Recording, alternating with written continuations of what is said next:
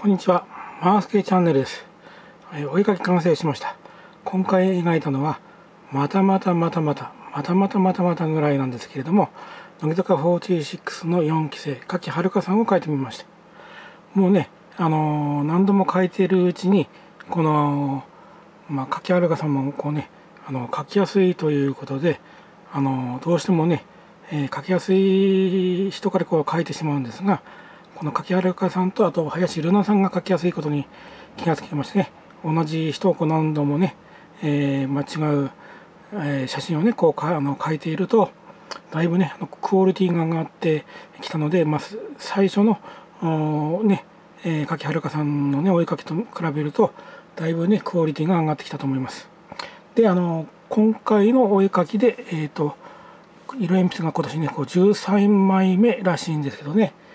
えー、と以前はまああのもっと書いたのが30万円ぐらいいたような気がするんですけど結構ねなまだ今8月になったばかりですので結構なペースでまあ書いていると思います。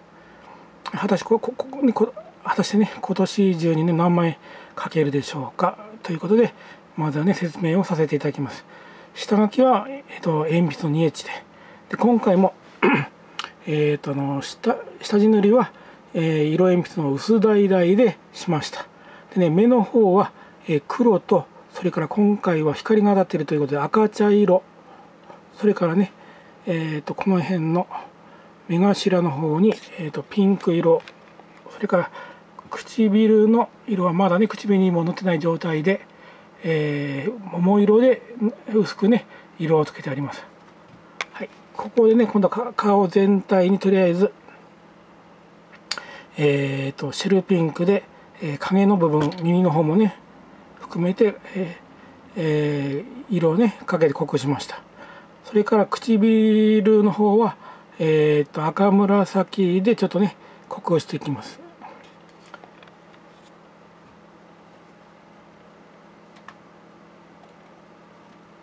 はいままだね消しゴムかけてないでね、えー、今度は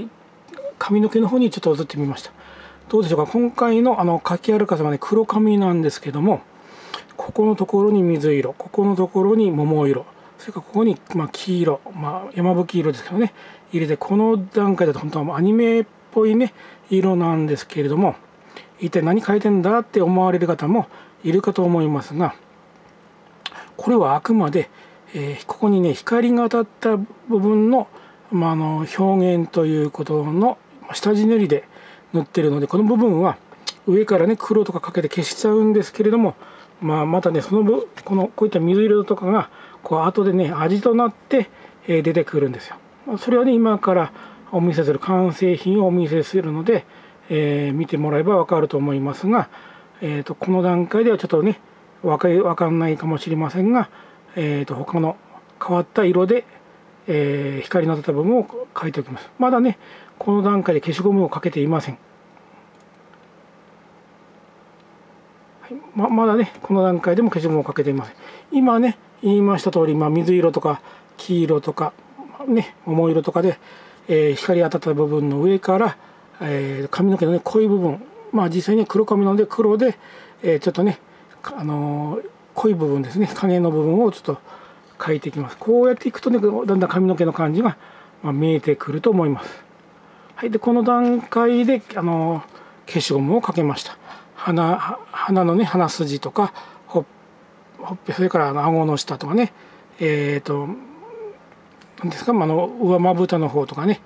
それからこちらの指の方にもあの消しゴムをかけておきます。で髪の毛もねほら先ほど言ったもう黄色とか水色とかも全部ほとんど消えて消えかかっちゃっていますが、まあ、黒をね丁寧にかけて髪の毛の質感を上げていきます。でこっちのね、えー、黄色の部分には、えー、茶色をかけてよりね、えー、光の当たった髪の毛をに近づくようにしています。それからね細いね、えー、ノック式の消しゴムで、え、ここにねあのちょっと光が当たったツツツとしたね、えー、髪の毛を表現するために消しゴムで消しながら、えー、描いていくという感じですね。はいこれで完成です。どうでしょうか？先ほどのね。あちょっとちょっと戻ってみますね。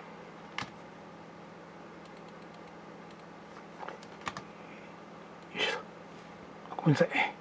ほらこういったね水色桃色黄色なんていうのは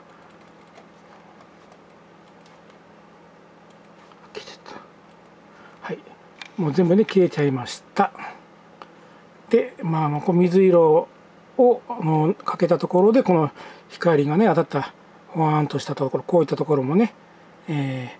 ー、うまくね表現できたんじゃないかなと思います。それから髪の毛のところのツヤをね出すのにやっぱり細い消しゴムで消していきますね。はい。あとこういったところ見えますでしょうか？こういったところもねこういったところも消しゴムであとこの辺の部分ですね。全部要するに消しゴムで消しながら髪の毛とかまあね顔全体